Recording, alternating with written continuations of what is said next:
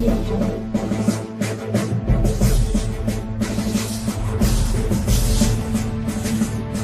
सवाल I hope कि uh, बच्चों से थोड़ा सा नहीं होगा क्योंकि इसमें ट्रिग्नोमेट्री का है। This is this is purely for C D S and NDA students ठीक है? तो आप इसको you try to grasp this particular question ठीक है? ये मैं आपको बताता हूँ। क्वेश्चन की लैंग्वेज को समझने की कोशिश करना। There is a tree of height 15 metres ठीक है? एक ट्री है उसकी हाइट 15 मीटर्स है and it is broken by wind in such a way that its top touches the ground suppose if this is a tree ठीक है? Suppose if this is a tree तो उसका जो top है suppose tree इतनी थी पूरी तो टॉप टूट के फिर ऐसे ज़मीन पर आ गया ऐसे। इतना टॉप टूट के ज़मीन में आ गया और ज़मीन को टच कर रहा है। सपोज़ ये ये ज़मीन है okay so it's touching touching the ground like this okay तो अगेन राइट एंगल ट्राइंगल बन रहा है, ठीक है? तो ये पेड़ पूरा लंबा है ठीक है? और ये पॉइंट है जहाँ से पेड़ टूटा है, ठीक है? दिस ए पॉइंट यहाँ से पेड़ टूटा है, ठीक है? बी उस पेड़ की जड़ है, यहाँ पर उसकी रूट्स हैं, और ये सी पॉइंट उस पेड़ की टिप है, ठीक है? ओके अब इस पेड़ की पूरी हाइट तो 15 मीटर है, टूट गया है।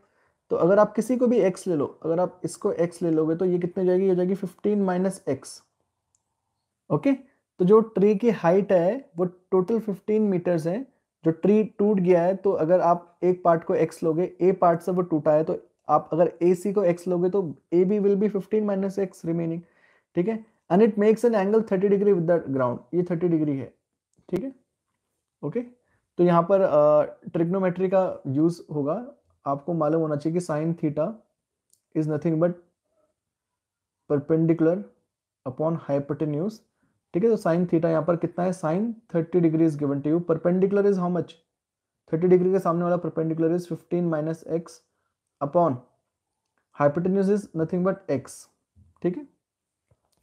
तो यहाँ से you will get the value of sine thirty की वैल्यू कितनी होती है? ये ट्रिग्नोमेट्रिक टेबल आप लोग बाद में पढ़ेंगे. This is only for C D S and NDA okay sine thirty की वैल्यू टेंथ में you will find all this trigonometry and all ठीक है?